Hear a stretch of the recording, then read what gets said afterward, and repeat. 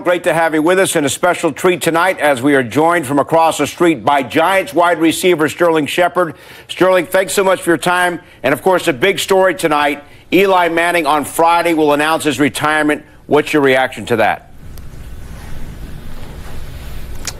Yeah, man, I mean, it's just such an honor to play with the guy. Um, you know, he's going to get first ballot. I hope so. And uh, I mean, he's taught me so much, not only on the field but off the field as well, and just how to be a pro. So uh, we all appreciate everything he's done for the Giants.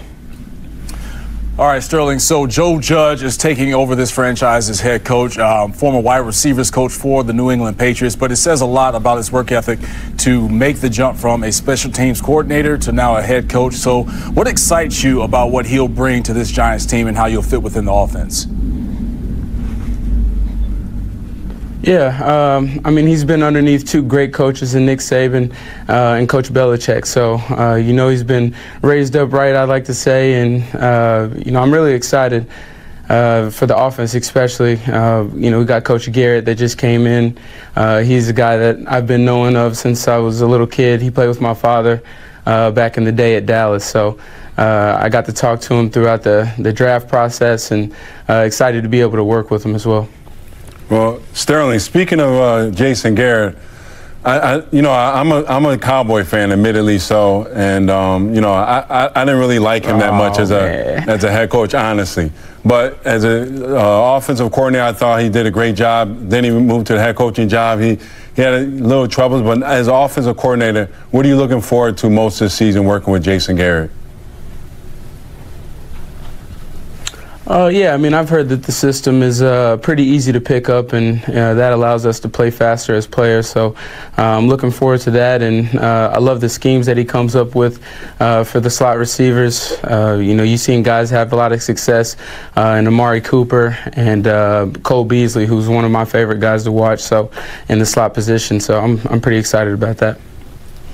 So we're going to stick with the offensive side of the football, obviously because you're on that side of the ball as a receiver. But let's talk Daniel Jones and his progression throughout his rookie season. He started 12 games, threw 24 touchdown passes. So how did you see him progress throughout the season, and what are those expectations from him going into year number two next year?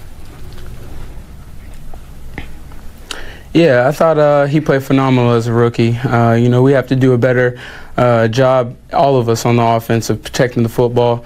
Uh, so I think that's a, that's a spot where we can all take major strides, and um, I see him doing that. I mean, he's a guy that loves to work he's the first one in the building all the time and the last one to leave. So uh, that's what you want out of your quarterback. And um, you know, I, feel like he's going to take major strides next year, just being more comfortable uh, now that he's seen what the game is like and um, you know how he'll he'll adjust.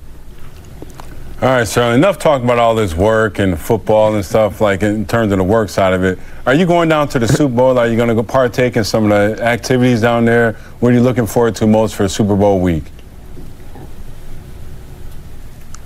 Yeah, man, I'm looking forward to it. Um, yeah, I got a couple of appearances that I got to make, so uh, I'll be out there. Uh, my wife will be out there with me, so give us a little time away from the kids. Uh, so I'm looking forward to that. Nothing like a road trip to uh, get a little bit of time away from the young ones. We all know about that. Uh, who's going to win the Super Bowl? Exactly. Man, it's it's it's tough but I'm gonna have to go with uh, I'm gonna have to go with San Fran, man. They're the hot squad right now. Uh, some of my boys are over there playing, so uh, yeah, I'm gonna go with San Fran. All right, Sterling, we're writing that down. Uh, thank you so much for your time. Enjoy the off season, and uh, we'll talk to you soon.